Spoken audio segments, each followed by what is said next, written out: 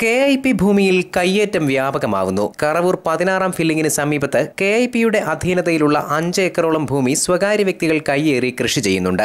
J C B ഉപയോഗിച്ച് മണ്ണിളക്കി വാഴ rubber മുതലായവയാണ് ഇവിടെ കൃഷി ചെയ്തിരിക്കുന്നത്. അതേസമയം സ്വന്തമായി ഭൂമിയോ വീടോ ഇല്ലാത്ത ഇരുപതോളം പേർ ഇവിടെ ദുരിതമനുഭവിക്കുകയാണ്. മൂന്ന് സെന്റ് ഭൂമി സ്വന്തമായുള്ളവർക്ക് തെന്മല പഞ്ചായത്ത് വീട് വയ്ക്കാൻ ധനസഹായം നൽകാമെന്ന് പറഞ്ഞിരുന്നു. ഈ പാവങ്ങൾക്ക് പക്ഷേ ഇവിടെ ഭൂമി ഇല്ലാത്തതിനാൽ അതും കിട്ടിയില്ല.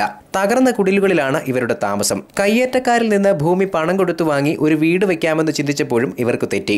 ഭൂമി കൈവശം വെച്ചിരിക്കുന്നവർ അത് വിൽക്കണമെങ്കിൽ വലിയ വില നൽകണം. വസ്തു ഏറ്റവും കൂടുതലുള്ളവർക്ക് വീണ്ടും വീണ്ടും സ്ഥലം കൊടുക്കുന്നതും അവരെ ഏറ്റവും കൂടുതൽ വന്ന് മേടിക്കും. അതെ പാവം പിടിച്ച ഒരാളെന്ന് ചോദിച്ചു കഴിഞ്ഞാൽ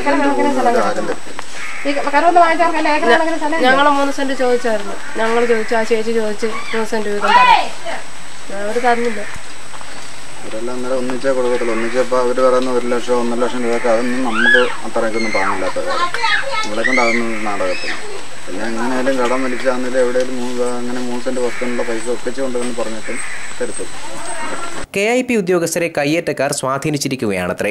മഴക്കാലം ആരംഭിച്ചതോടെ ഇവരുടെ ദുരിതവും കൂടുകയാണ്. ചോർന്നൊലിച്ച കുടിലുകളിലെ ഒറ്റമുറിയിലാണ് ഭക്ഷണം പാകം ചെയ്യുന്നതും കിടന്നുറങ്ങുന്നതും. വളർത്തുമൃഗങ്ങളും ഇതിനുള്ളിൽ തന്നെ താമസിക്കുന്നു. കയ്യേറ്റക്കാർ സമൂഹത്തിൽ വലിയ നിലയിലുള്ളവരും ഉദ്യോഗസ്ഥരുമായതിനാൽ അവർക്കെതിരെ പ്രതികരിക്കാൻ കഴിയാത്ത നിലയിലാണ് ഇവർ. അതേസമയം വർഷങ്ങളായി ഇവിടെ താമസിക്കുന്ന കയ്യേറ്റക്കാരെ ഉടൻ തന്നെ ഒഴിപ്പിച്ചു കളയുമെന്നാണ് കെ ഐ പിയുടെ ഭീഷണി.